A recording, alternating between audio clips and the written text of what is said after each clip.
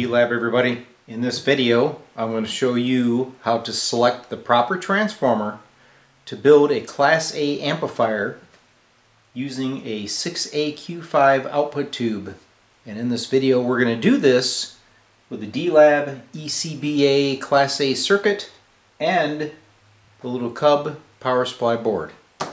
Here we go. Well, here's the easy way to determine the proper power transformer if you're going to build a little 6AQ5 Class A amplifier. And that's what we're going to do here. So the heart of the amp will be the D-Lab ECBA board. And this little circuit board will actually work with any Class A design because this simply supports the preamplifier section and the power feeds to your output tube. Setting bias and selecting the proper power transformer is a different matter. Okay, so what we're going to do is we're going to test this transformer.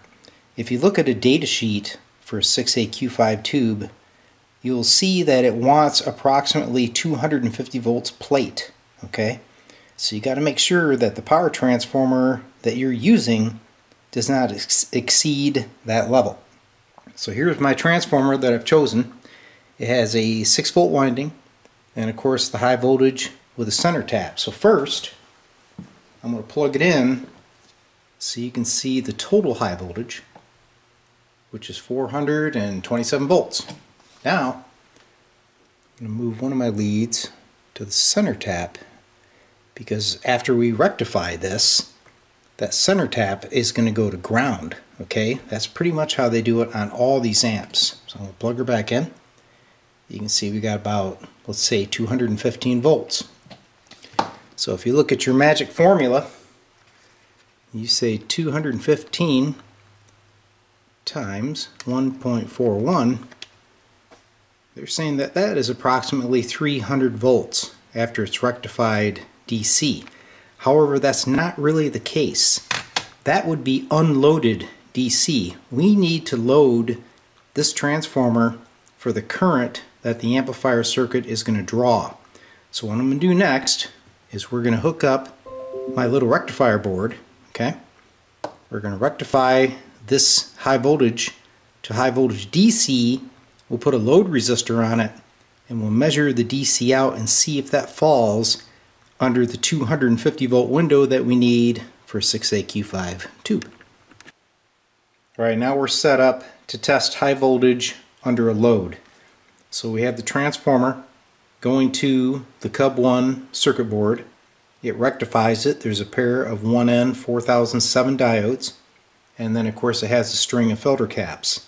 So what I did is I took a 10K 10 watt resistor and strapped that from the high voltage out to ground and our meter is watching the high voltage.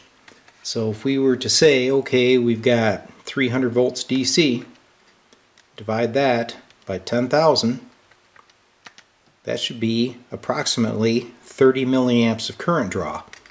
And that's pretty close to what our 6AQ5 tube is going to draw when we set the bias. So I'm going to plug her in, watch the meter. Remember, we have a load resistor pulling 30 milliamps of current we started with 300 volts DC, supposedly according to the formula, but what we really care about is the power under load because that is going to bring your Class A tube alive. Okay, I'm plugging her in. So you see we have approximately 258 volts at 30 mils. It's probably not exactly 30 milliamps because it's 258 volts divided by 10,000. That's a little over 25 milliamps. So this transformer will work fine for a Class A 6AQ5 amplifier build.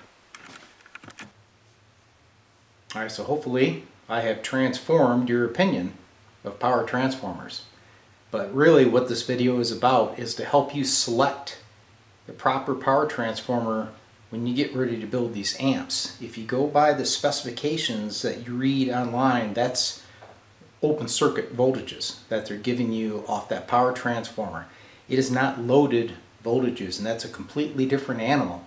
So a lot of guys get into amp building and they buy a power transformer and when they apply the voltage it's much higher than what they expected and that's because they didn't do a test under load to see what they'd really get.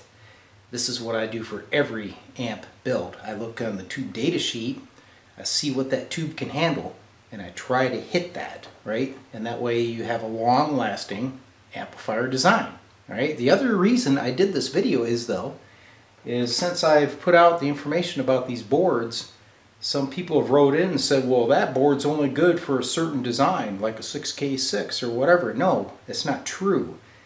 This board is simply the preamp in the driver section for your output tube. High voltage and bias setting is what determines the output of your amplifier. So if you want to build a 6V6 amp, you're going to put 400 volts into this guy and you're going to have a different bias resistor. If you want to build a little 6AQ5, right, you're going to have lower high voltage and a different bias resistor. That is the, the variable. This is the constant, okay? Same goes with a little rectifier board. His job is to simply convert AC to DC and then power your amplifier. So these two items can be used on any design that you wish. I hope this information helps. Alright, so a little sneak peek for you guys. You saw the power transformer that I picked out for the 6AQ5 amp. Let me show you what it's going in. So here's what our circuit's going to go into guys. A command chief made by Astatic. This was an old TV antenna amplifier. I'm reusing the chassis with some additions. Here's the power transformer that we just tested. 6AQ5 output, 12AX7, little 5K output transformer, and the preamp board will go underneath. It's going to be a really cool project. Stay tuned, you'll see it coming up soon.